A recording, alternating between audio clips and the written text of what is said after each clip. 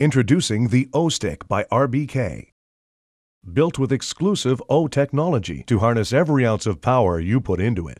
The O-Stick's unique construction enhances performance unlike any other composite stick on the market. The power ports, which are made up of two mirroring arches, increase stick speed and kick while dramatically stabilizing the shaft. This combination of technological advances allows for maximum energy transfer to the puck. Compared to a typical composite stick, the PowerPort construction of the O-Stick significantly reduces shaft rotation and torque on impact, giving the stick enhanced stability and allowing the blade face to stay straighter, resulting in greater accuracy.